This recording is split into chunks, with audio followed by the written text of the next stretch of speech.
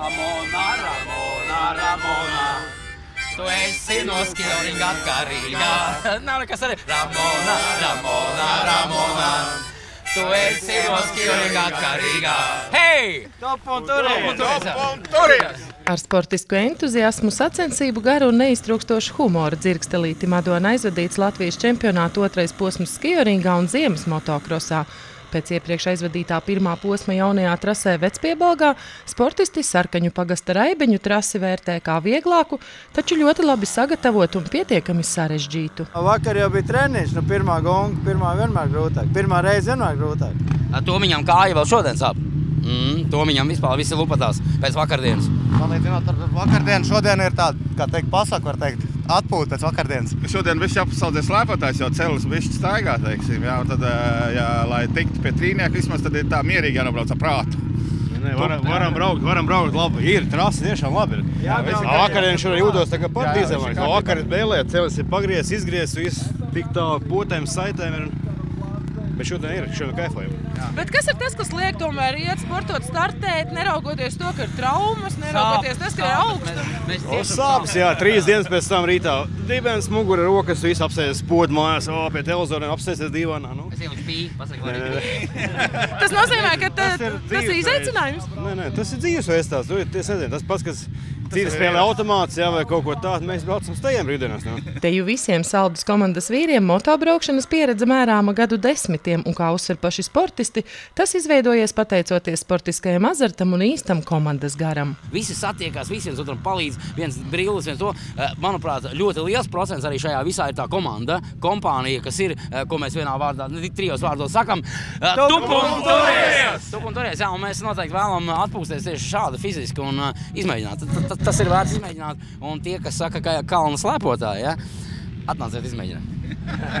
Taču, kā uzsver vīri, ļoti liela nozīme ir arī labi sagatavotai trasei un mainieku viesmīlībai. Vislielākais paldies, ja mums jāsaka, ir ā, tagadējiem pilsētas mēram, kas, kas visu šo pasākumu te ir, ā, es domāju, daudz palīdzējis un, un iesaistījies. Un Lungavīts kungam, jā, jo tas mums arī saist, kad mums gribās pie viņa atbraukt, jo mēs jaunībā daudz esam kopā braukuši ar viņu tēvu.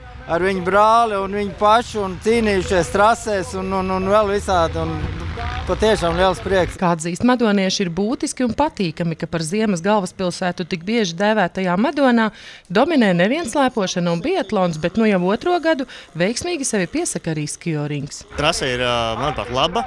Mazliet vieg- vieglāk kā vakardien Vecpiebalgā, bet tas varbūt sportistiem tieši ir labi. Un gribu teikt lielu paldies Aivaram Bajāram un viņa komandai par šo raibiņu trasi, kas ir sagatavota ļoti labā līmenī. un Latvi- Latvijas čempionātam atbilstošā stāvoklī ir trase. un Es domāju, ka sportisti novērtēs un, un tā diena būs viņiem ļoti veiksmīga. Līdz ar virkni atpazīstamu un spēcīgu sportistu raibeņu trasē meistarību pierādīja arī pieckārtējā pasaules čempiona Arta Rasmaņa komanda. Manējā trasē vai mūsējā jāsaka, salīdzinot ar vakardienu. vakardienu. Bet skatos, papojāts slēpjas. Nu, tā ir gandrīz katru gongu jaunu slēpes. Tā Kāda ziemas mums ir tādas, ir gandrīz pa melnajā valkās. Bet nu, šodienas trasa ļoti laba. Forši, nu, ir ziema atnākusi un varam organizēt sacensības. Un, un uh, dalībnieki daudz un, un trasa sagatavota perfekti. Un es domāju, ka uh, mēs izbaudām, Madonu izbaudām. Super, super, man patīk. To apliecināja visi uzrunātie sportisti, tostarp Latvijas Republikas Saimas sporta apakškomitejas priekšsēdētājs Sandis Rieksniņš. Es šī trasē esmu pirmo reizi, bet puiši bija arī mūsu klubā pagājušā sezonā. Bija labas atsauksmes. Šodien nobrauksim, tad arī redzēsim, būs. Ja, bet, bet ne par to. Man jau vairāk tas, ka vispār tiek organizēts kaut kas tāds. Un, un, un, uh, ir jānāk uz reģioniem vairāk. Mēs arī paši savā neretā organizējam. Pagājušajā gadā bija pirmo reizi. Uh, Daudz ko mācāmies, tagad ko kļūdījāmies. Šosezon būs otro reizi. Un, Un jo vairāk, jo labāk, tikai nu, dod Dievs mums ziemu garāku mazliet. Īpaši viņš atzīmē arī komandu profesionalitāti un augsto sagatavotības līmeni. Nu, ja pa top tieši braucējiem, tad es tur brīžiem nesaprotu, kā kaut ko tādu var izveidot, ko viņi tur veidoja. Bet trenējās jau visi, un arī, arī pat tie, kas varbūt nav tik augstās vietās, bet eh, arī mums eh, klubā ir eh, regulāri treniņi pašiem savā trasē, tāpēc viņi ir, lai būtu treniņi. Ja, un, Nu, es domāju, ka visiem, kas brauc, fiziskā sagatavotība ir pietiekami labā līmenī, lai nobrauktu 15 minūtes.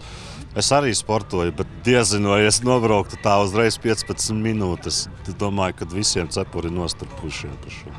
Jāpiebilst, ka 2018. gada sezonā par Latvijas čempioniem skioringā kļuva Raivis Eikmanis un Arvis Dunkulis, Artūrs Brencis un Pēteris Līkums, Dīdzis Gorbenko un Oskars Dzirkalis, Raivis Zolmanis un Mikus Neško, Artūrs Brencis un Inese Līkuma, bet Latvijas kausu ieguva Andris Štendenbergs un Māris Gustiņš, Jānis Zolmanis un Mārtiņš Bergmanis, kā arī jauniešu grupā Emīls Tilaks un Elmārs Tilaks. Šī sezonas sacensību seriāla trešais posms jau 19. janvārī iecerēts Jūrmalā.